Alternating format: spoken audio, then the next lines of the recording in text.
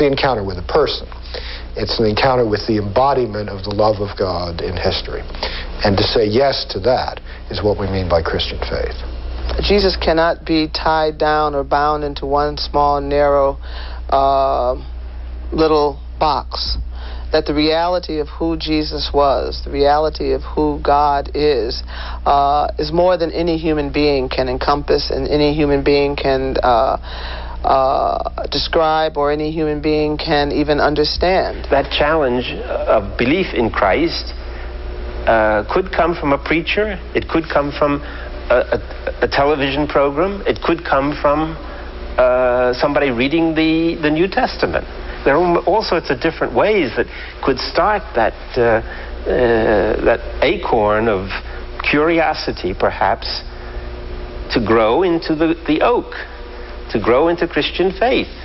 Christ encounters men and women, changes life, changes mind, and brings hope, so that not for this world only, but for an eternal world, we are prepared and delivered. I wish that I had been knocked off a horse like Saul of Tarsus. Uh, uh, it usually comes much more quietly than that.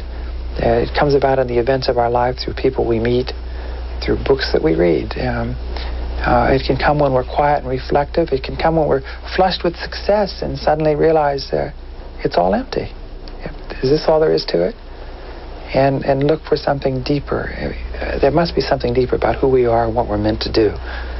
Um, and uh, when you look for that, that's the thirst that Jesus um, aims to meet. You have to make up your mind what who do men say that I am? Who, who do you say that I am? Who is this Jesus? That, that's the question that he keeps forcing on us, just as he did on the road to Caesarea Philippi uh, 2,000 years ago. There's no getting around that uh, question. You have to make a decision.